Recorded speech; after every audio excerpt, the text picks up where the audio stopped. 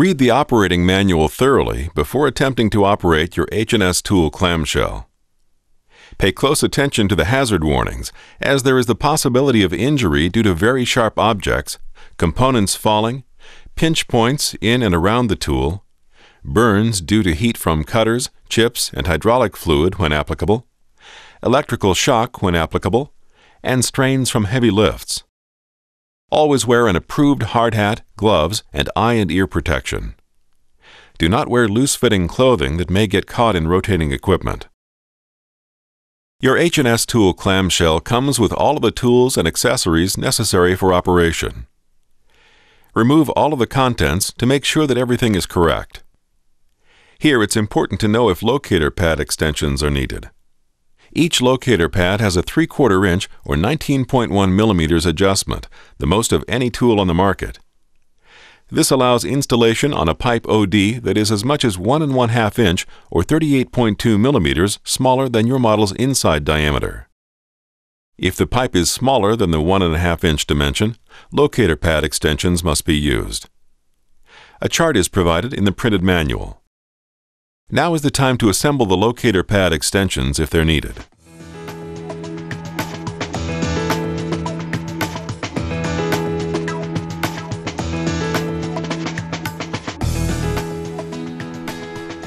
Unpack the tools needed to assemble the clamshell.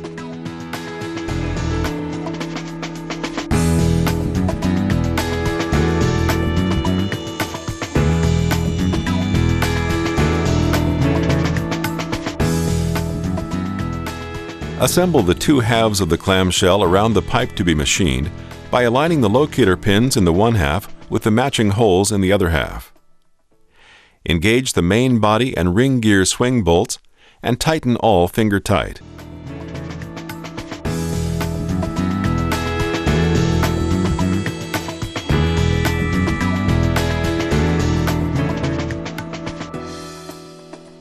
Using the ratchet and socket provided, tighten all swing bolts securely.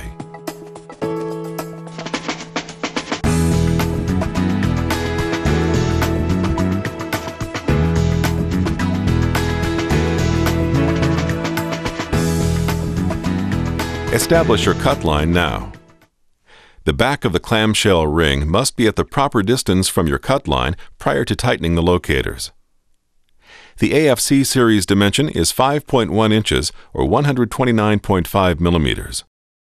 The locators are used to center the clamshell on the pipe and to lock the clamshell securely in place for machining.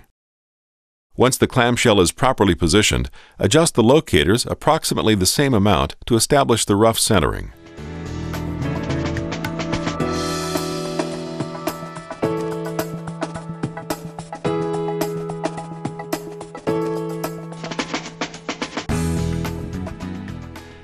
A square is provided to check that the clamshell is square to the pipe surface. A rule can be used to measure the distance between the outside of the pipe and the inside of the ring for more precise centering.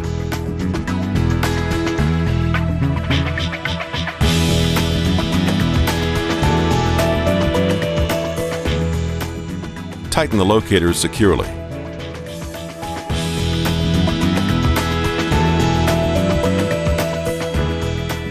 Assemble the tool slides onto the ring gear with the four cap screws provided for each slide. Use the mounting holes on the tool slide that will easily clear the pipe surface while not requiring overextension of the cutting bit to reach the pipe.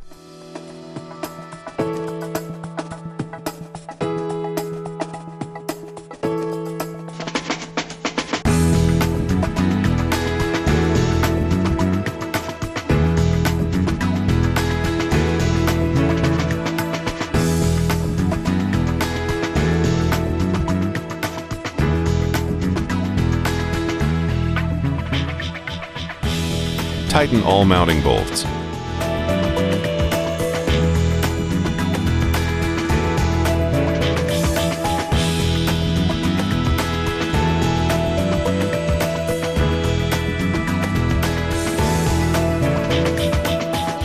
Insert the tool bit into the tool slide. Make sure that the bevel angle, if used, is facing in the proper direction. This is a good time to double check your position to the intended cut line. Make any necessary adjustments now. Lock the tool bit into the slide.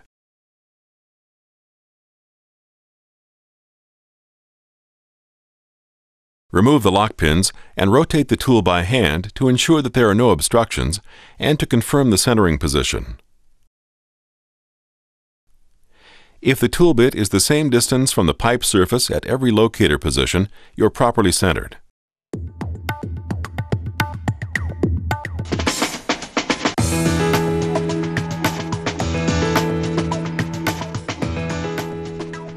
Rotate the tool again to confirm that all positions are accurate and ready for machining.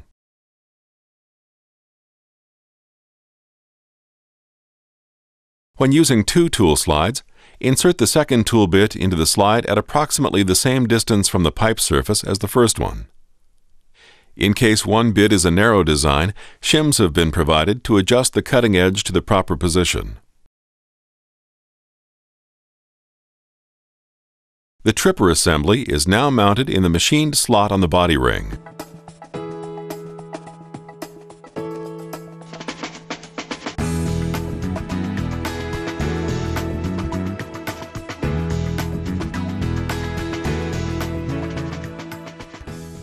Check that the tripper pin has full contact with the star wheel on the tool slide and that it's positioned approximately half the distance into the star segments. The base can be adjusted in and out, and the tripper pin can be adjusted up and down to achieve the proper distances.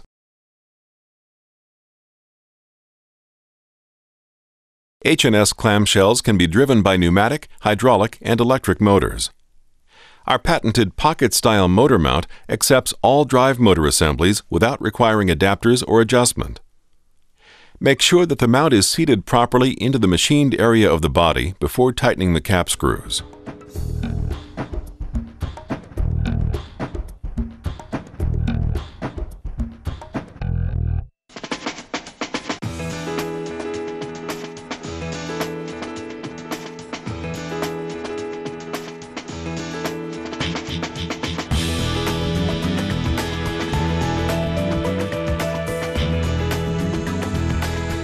Pneumatic powered tools have an air caddy provided that injects lubricant into the air supply to prevent motor damage.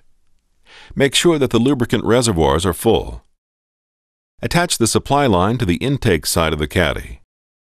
Attach the tail hose provided to the tool side of the caddy, designated by the flow shutoff valve,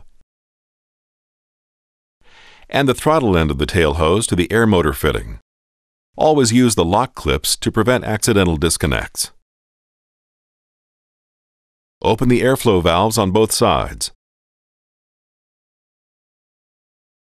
Using the speed wrench provided, set the final tool bit position just off of the pipe surface.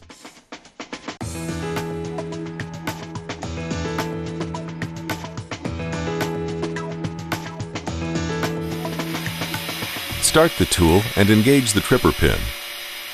We suggest using a lubricant to cool the tool bit and extend the efficient cutting life. Always be aware of potential hazards. Remember, when severing, the area beneath the piece being removed must be clear at all times.